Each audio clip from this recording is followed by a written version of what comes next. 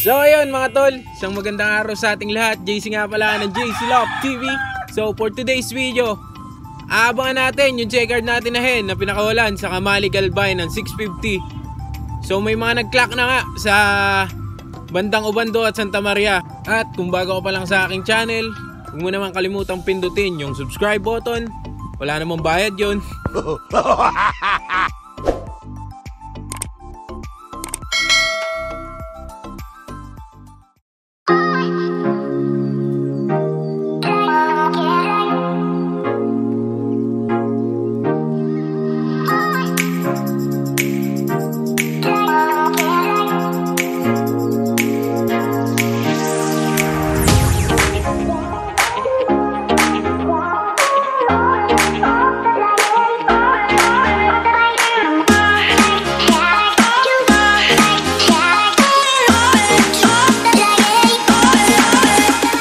Update ko muna kayo dito sa mga panlaro natin ng South.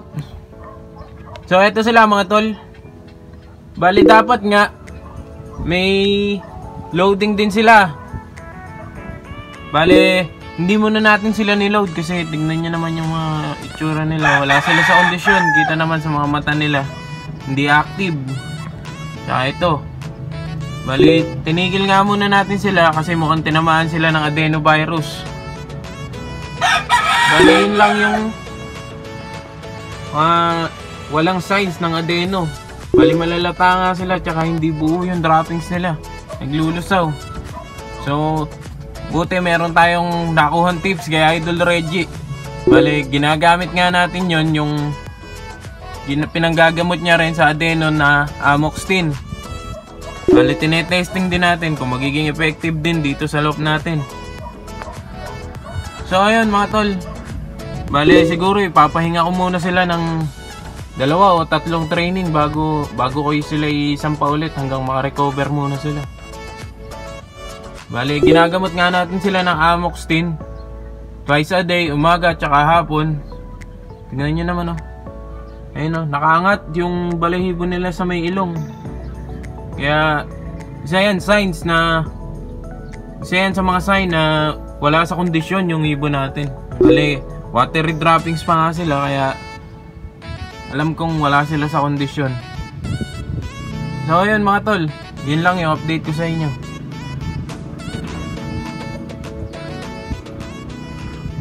So ayun mga tol, 12 na nga yung nag-clock. Bali sinali nga natin yung ibon natin na yon sa auction kasi nagbutas siya nung nakaraan. Maganda naman yung panahon mga idol. Mainit at medyo malakas yung hangin. Sana makauwi yung ibon natin na yon. Tara mga tol, abang-abang pa tayo.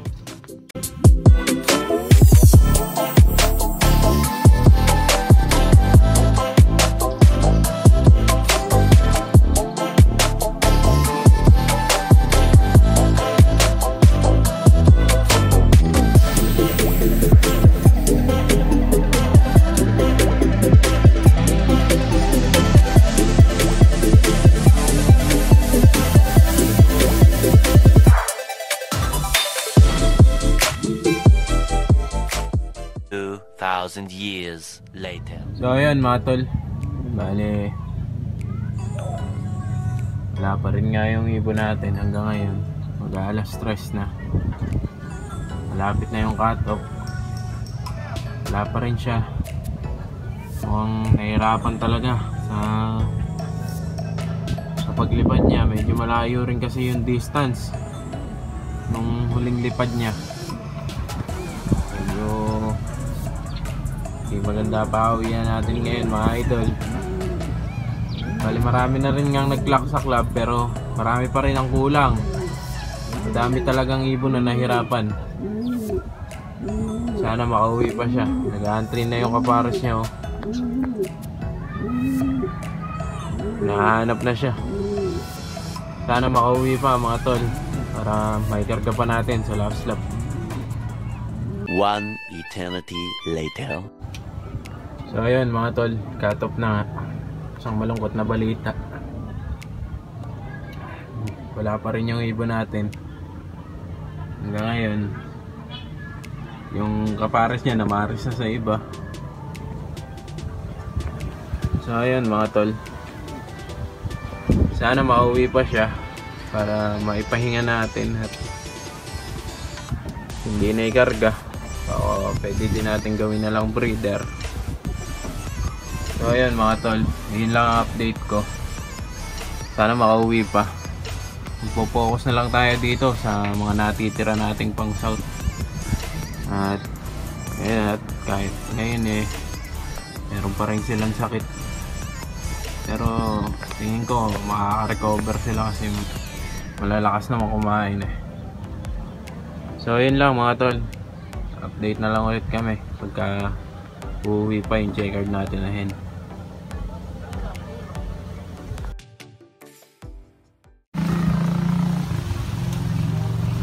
So mga tol. Balik cut-off na nga. At wala pa rin yung info natin. Sana umuwi pa para gawin na lang nating breeder. At yun mga tol. Bali hindi maging hindi naging maganda yung karera natin ngayon.